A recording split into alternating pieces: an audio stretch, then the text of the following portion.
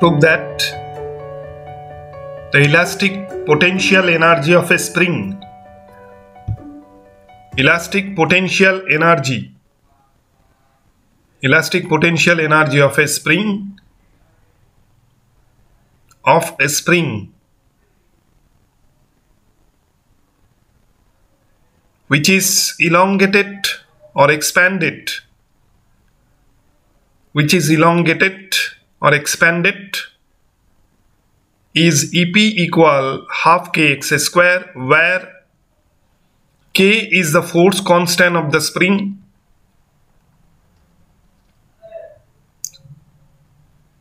K is the force constant of the spring and x is the elongation or expansion of the spring.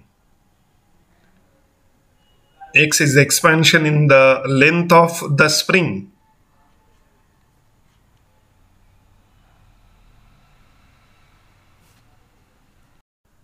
We consider a rigid support at O to which a spring is connected and the other end of the spring, the other end of the spring is uh, attached to a block of mass capital M. This is a block of mass capital M which is attached to one of the end of the spring and the block is placed at the point A. K is the force constant of the spring now the spring will be elongated by applying a deforming force on the block. Here the spring gets elongated towards right along x-axis. Number of turns of the spring remains constant. According to the diagram, number of turns in the spring is uh, 8 and the spring gets elongated and the body will be displaced to the point B from the point A. Due to application of a deforming force and here this will be the elongation of the spring. X is the displacement of the block of mass capital M and it is also the elongation of the spring towards right along x-axis the spring gets elongated due to application of due to application of a deforming force F towards right F is the deforming force which is acted on the block of mass M attached to the spring. So F is the deforming force due to application of this deforming force uh, the spring gets elongated by uh, uh, an elongation x from the point A to B. This is the deforming force F. Due to application of this deforming force, restoring force Fr comes into play in this direction. Fr is the restoring force which acts towards uh, left.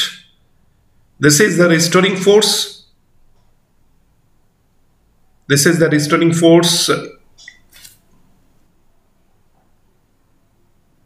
also the spring gets elongated further by very small uh, uh, elongation dx towards right.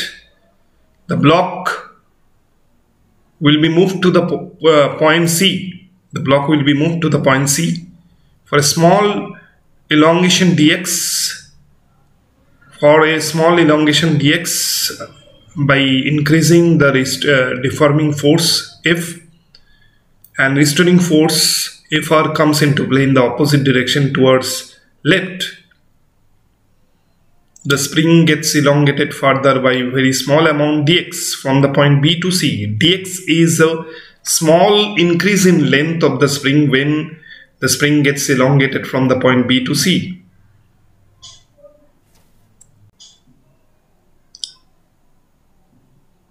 let a spring of force constant K let a spring of force constant K be fixed to a rigid support. Be fixed be fixed at its one end to a rigid support. A spring of force constant K be fixed at its one end to a rigid support at O and the other end of the spring and its other end of and its other end B attached to a block of mass capital M and its other end B attached to a block of mass capital M placed on a surface along x-axis. This is the block in the diagram uh, block of mass capital M which is attached to one of the ends of the spring of force constant K and at O we have a rigid support to which the spring is also attached. To which the spring is also fixed.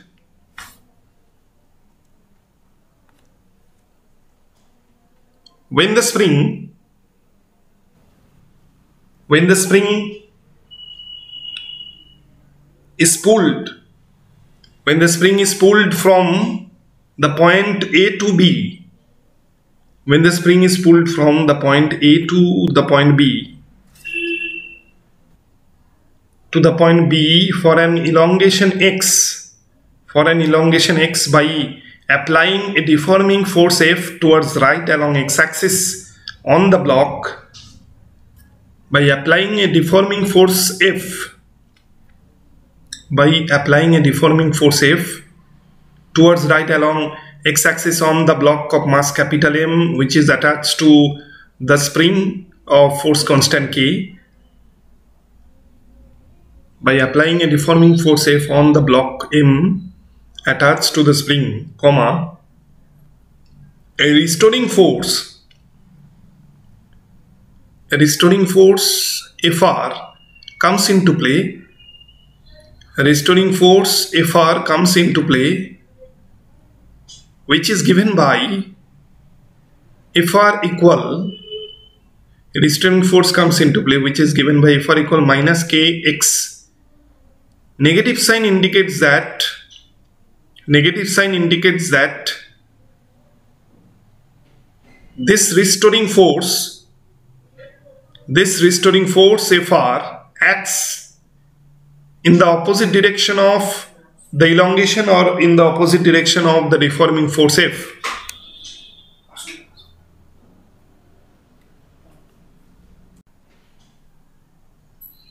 In the opposite direction of deforming force F and the, elonga uh, the elongated spring will have a tendency to regain its initial length or configuration due to this force and the elongated spring will regain its initial length or configuration due to this restoring force Fr.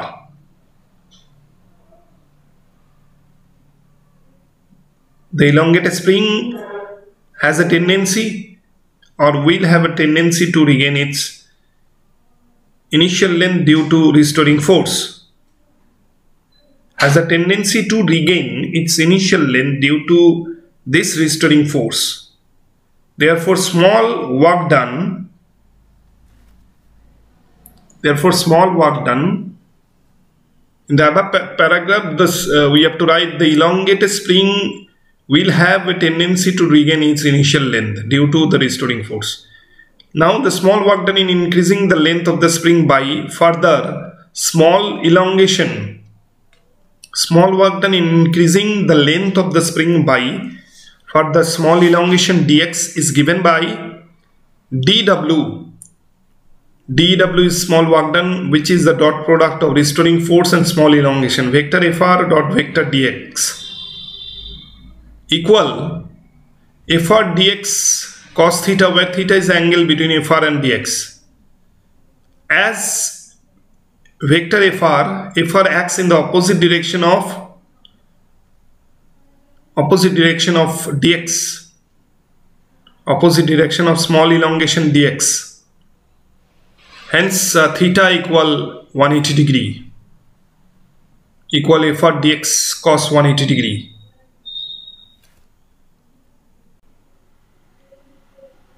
Now in the second diagram, the spring gets elongated from A to B for elongation x and the spring gets further displaced from the point B to C for a small elongation dx. So in this case work done against this restoring force Fr. Fr is the restoring force. Fr is the restoring force. Work done against restoring force will be Fr dx cos theta. So as dx small elongation uh, acts away uh, from the rigid support and uh, restoring force Fr acts towards the rigid support O. So that's why theta is equal to 180 degree. If dx acts towards right and Fr acts towards left, that's why theta equal 180 degree. So therefore dw equal minus Fr dx since cos 180 degrees minus 1. Now putting the expression of Fr equal minus under bracket minus kx dx since restoring force Fr equal minus kx. Therefore W equal kx dx. W equal kx dx which is the small work done uh, for small elongation of the spring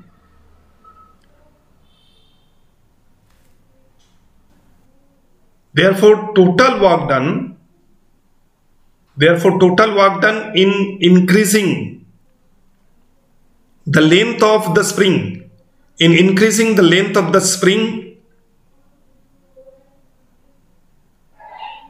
by an elongation x, total work done in increasing the length of the spring by an amount x is w equal integration dw 0 to x.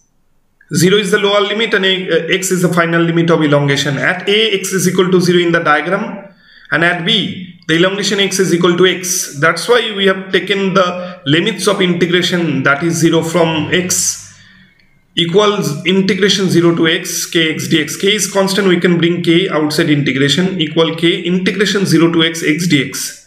Now integration x dx is x square by 2 third bracket close 0 to x putting the upper limit x in place of x equal k third bracket opened x square by 2 putting upper limit x in place of x then minus 0 therefore w equal 1 by 2 k x square or x square. W equal 1 by 2 k x square. This is the total one work done in increasing the length of the spring by an amount x. This work done is stored this work done is stored in the spring. This work done is stored in the spring as elastic potential energy. As elastic potential energy. EP. This work done means W is stored in the spring as elastic potential energy EP at the point B Therefore, EP equal W. EP equal W. Therefore, EP equal, putting the expression of W, EP equal half K x square. EP equal half K x square. This is the expression of elastic potential energy or elastic energy or elastic potential energy or potential energy. Potential energy, this is the potential energy of a spring for its elongation. For its elongation